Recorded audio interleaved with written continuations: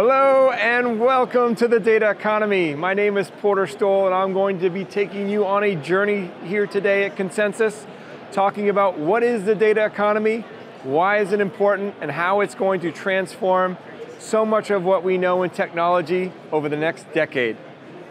Sit back, relax, buckle up. Hopefully you're going to be as enthusiastic as I am on the data economy, what it is, and how it's going to transform so much that we know. So let's dive right in. Right now, society creates 329 exabytes of data a day. I know we talk about exabytes, petabytes, and all these terms. You can't fathom an exabyte of data. Just to give you a little bit of context, from the history of the world to 2003, the world had only created five, five exabytes of data. And now we're getting to a point where we're creating 329 exabytes of data a day. And really, what do you do with all this data? Right now, think of it as like a storage unit. We've all moved places and we put all this junk into storage, and that's really what's going on in data today. And this was made possible by the invention of public cloud. Public cloud made it easy and achievable to just store all this data that you were creating, that society was creating, affordably and just, just in case. Uh, but again, if you've ever had a storage unit, then you packed full of gills between moves, you have to ask yourself, what in here is valuable? So I'm going to keep going with this storage metaphor because most people have done a storage unit at some point in their lives and put stuff in there. And again, if you've like me and you've used a storage unit, you might not have gotten to your storage unit for an entire year. And that really makes you ask the question, well, what in here is important to me? What in here is valuable? So let's dive into what's valuable when you store something. Well, you can kind of break it down very simply into two categories. You have things that have sentimental value. You have your old photo albums. You, maybe you have the trophies from your youth sports uh, that uh, you have as a kid that your mom gave you to get rid of. Uh, but you also have stuff that has real value. Maybe you have an antique record collection.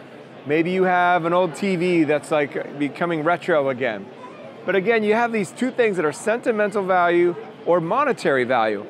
And that's really no different for data. And it's no different whether it's an individual or as a business. Your data either has sentimental value or monetary value. For most of us, as an individual, our data is mostly sentimental value. We store pictures, we store movies, we store you know, various things that are important to us, but not necessarily things that have open market value. For a business, it's a little bit different.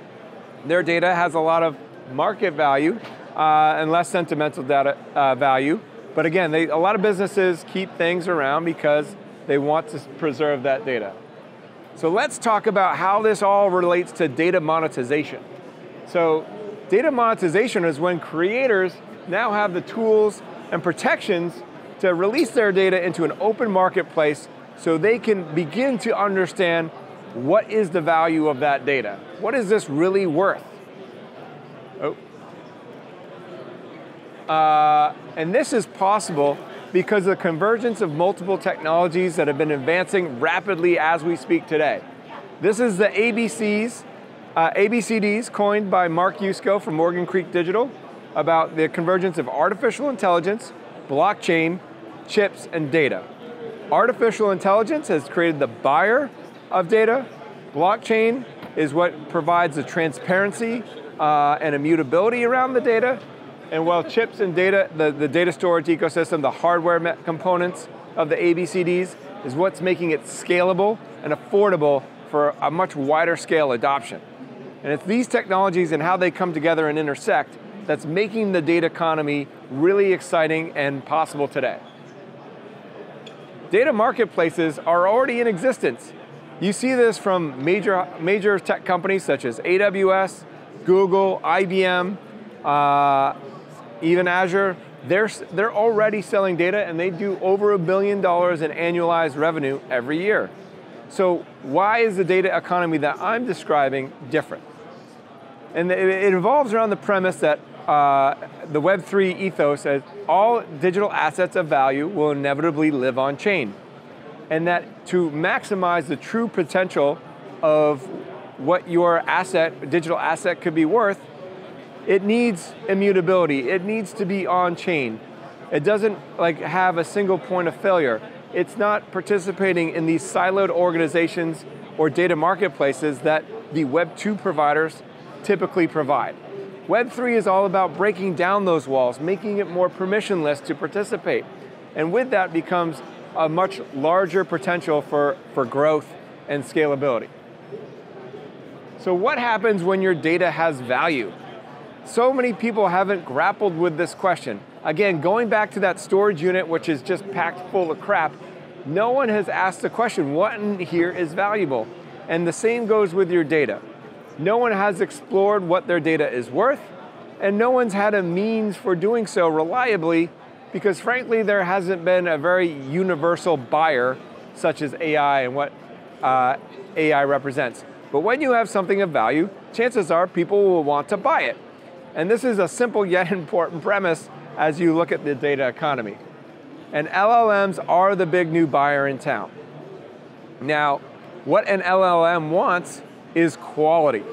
They want to, you know, if you're going to train your, your LLM on data, you want to make sure that it, it came from the source, the most trusted sources.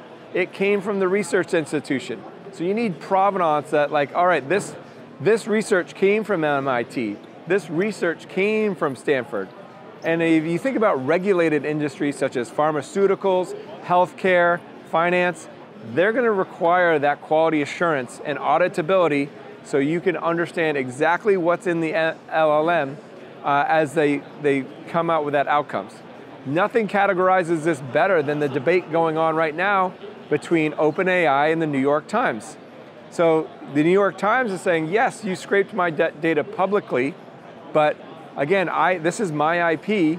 You did not have my permission to take it. And but again, the reason why OpenAI wanted New York Times data because it was a high quality source of trusted information. And it's that premise that's going to be the foundation for the data economy moving forward. And if you're talking about enterprises, enterprises is all about top line growth. I remember back in early in my career, I was uh, having a couple beers with the investment, the innovation team of a major uh, investment bank. And what they outlined to me is cost innovations, they're nice to have, they're cute. You know, people, if they're really transformative, yeah, people will take you serious. But if you have a revenue innovation that changes top line growth projections for a big business, people will line up around the block to talk to you and understand what you've provided. And the data economy represents just that type of revenue innovation. And once enterprises see the potential that data represents, it's going to go gangbusters. And so the massive uh, transformation becomes when you look at these businesses and how much they spend annually on data storage. They spend $40 billion per quarter today on data storage. Now, not all that data, just like what's in your storage unit, is valuable. But let's say they identify 20%, 30% of that data that has real market value. They can begin to monetize that data through LLMs to begin to transform their whole business model. Now data, data storage transforms from a cost center, a major cost center, into a revenue center. And that changes everyone's relationship with data instantaneously. And this future is not some five year plan down the road. This future is here today, and it's getting more credibility and scalability on a daily basis. So I, you know, Raoul Pal, I'm a big fan, and he talks about the banana zone. He's talking about that in recent terms around like crypto in general. But the banana zone for data as an asset class is where enterprises rush through the door to make sure that their data is being monetized to its maximum potential and participating in this data economy. Because enterprises know or businesses know that they represent high quality, trusted, branded data that can be used to train these LLMs. And again, once you get resolution on the New York Times OpenAI use case, you're going to see that IP protection come in where now you've really sparked the need to buy these data sets for your LLM. Not everyone's going to get away with what OpenAI has gotten away with to date by you know, scraping the internet. People are going to build very custom LLMs for very custom use cases, and you're going to have to provide full auditability on what data is in that LLM, and that's the basis and fundamentals for the data economy. So right now you have various types of asset classes. You have equities, fixed incomes, cash, real estate, commodities, and alternative investments. So really what we're talking about is an alternative investment, where data becomes one of the primary pillars in the alternative investment asset class. And when you look at asset classes, you think of the definition is anything with a stable cash flow can be securitized and turned into an asset-backed security. And when you think of data as an asset-backed security, where it, data itself, these data sets have cash flows, where you know whether it's being called on by an AI agent, where the data owner gets credit for uh, populating that AI agent response, or that data is being downloaded by another LLM to support the growth of their model. That's the cash flows we're talking about here that really give the data economy its, its life. And then all of a sudden, when you think about that model, if data set has a cash flow and it's predictable, now it becomes much like your mortgage. So when these assets begin to be securitized because there's global participation as well as global demand for LLM generation, that's where this really takes off. And I, it may seem like science fiction for if you're hearing this for the first time, but you think about all the businesses that you know, and you can come up with very specific examples of Pfizer's done research. Pfizer wants that research to be accessible to other pharmaceutical makers around the globe. Uh, they can provide that data set for sale at a price in an open marketplace. Anyone can use it. Pfizer can be compensated for that participation and have protections that that data is secure and immutable.